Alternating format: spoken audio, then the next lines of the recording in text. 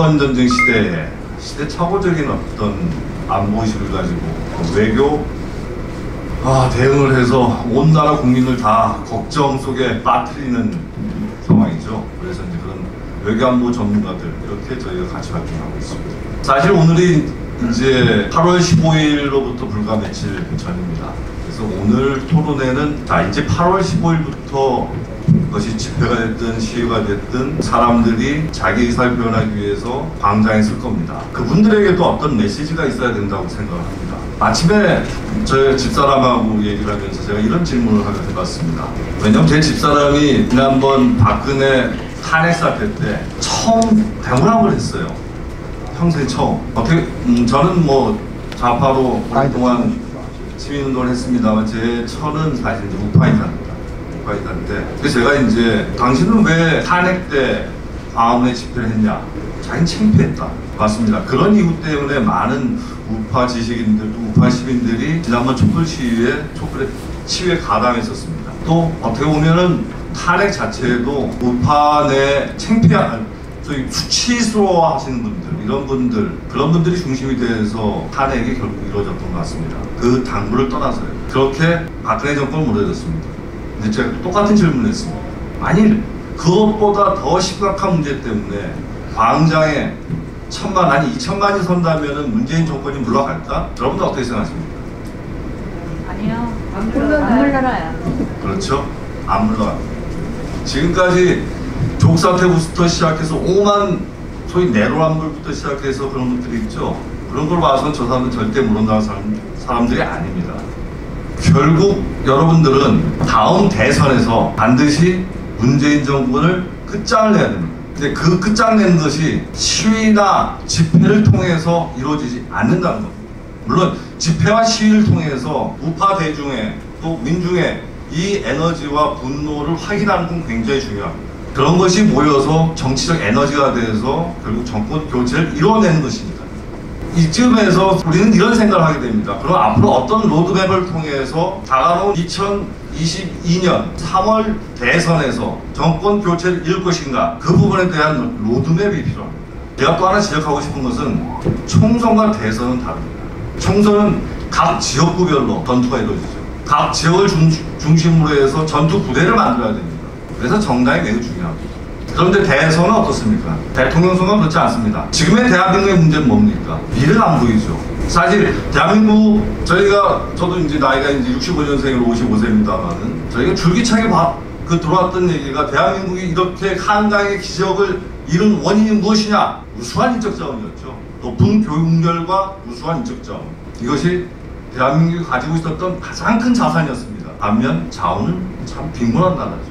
아까 김대호 소장님이 발제하신 책자를 보면 14페이지를 보면 인구 구조도가 나올 겁니다. 지금의 대한민국 그리고 앞으로 10년, 20년 후의 대한민국 어떻습니까? 정반대죠. 우리를 이 자리에 있게 한 그 인적 자원, 우수한 노동력이 이제는 노년이 돼서 청년들에게 부담이 되는 시대로 접어들고 있습니다. 사실 모든 위기의 원인은 거기 있습니다. 더군다나 우리나라는 여러분들 일본과 비교를 하면 안 됩니다. 일본도 비슷한 패턴으로 노령화 사회로 진행됐지만 우리는 그 속도가 빠를 뿐더러 이 사회 구조, 경제 구조가 전혀 다릅니다. 우리는 무역 의존도가 60%에 달하는 나라입니다. 세계 1위입니다. 더더군다나 이 한강의 기적은 수출 주도형 경제 정책으로 만들어진 기적입니다.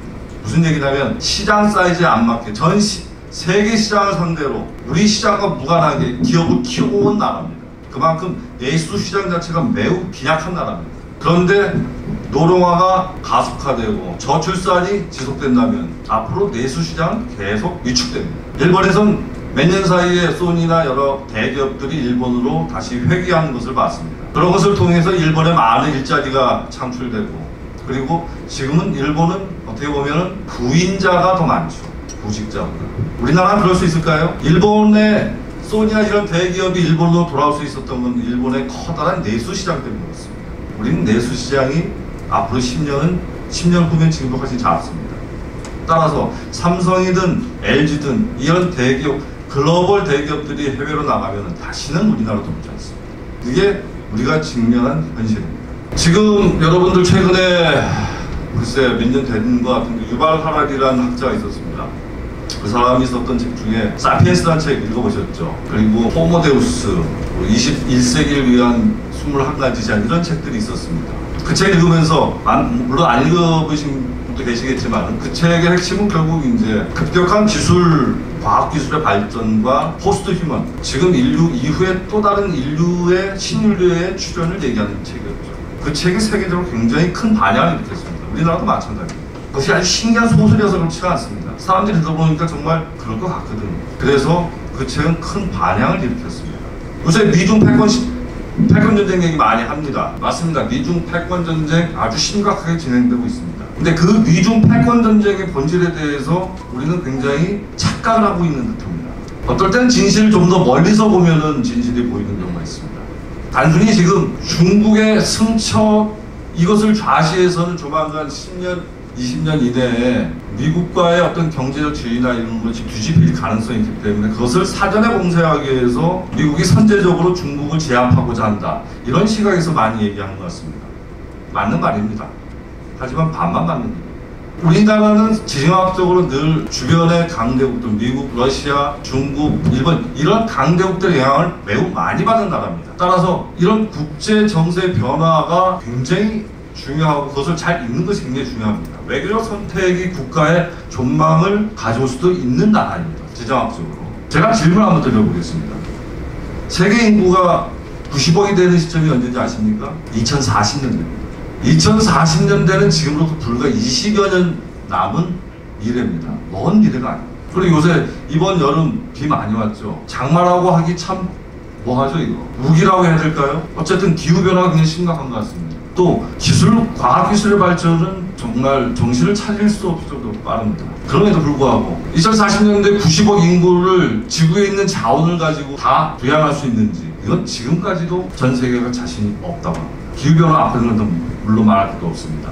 또 자원에는 재생 가능하지 않은 자원도 있습니다. 무슨 얘기냐면은 지구에 있는 이 자원은 언젠가 떨어진다는 얘기입니다. 그렇다면 패권자 입장에서는 어떤 고민을 하겠습니까? 아마 90억 중에 한 20억 정도만 앞으로 소위 아까 유발 하라리가 얘기했던 포스트 휴먼으로 남을 수 있을 겁니다. 이 지구상에 있는 자원 가지고 90억을 다 먹여 살릴 수도 없습니다. 또 2040년쯤 됐을 때 미국의 인구는 거의 6억 명 정도에 육박할 겁니다. 그런 시각에서 세계 전략을 우리가 본다면 당연히 미국에서는 패권자로서는 6억 자기 인구와 그리고 자기 동맹 세력과 이들과 지속적인 발전 전략을 짜, 짜게 됩니다. 결국 재생 가능한 재생할 수 없는 자원 이 부분이 불가피하다면 결국 우주로 나갈 수밖에 없습니다. 아주 황당하게 들리죠. 사실 황당하지 않습니다. 지금 스페이스X나 구글이든 많은 기업이 우주 자원 개발에 투자하는 것은 바로 그런 이유 때문에 그렇습니다. 자 정리하겠습니다. 자기들이 확실하게 먹고 살 정도의 자원 그리고 자기들의 번영을 영속시킬 수 있는 자원을 개발할 수 있는 정도의 자원 이것이 패권 세력이 가져야 될 자원의 양입니다.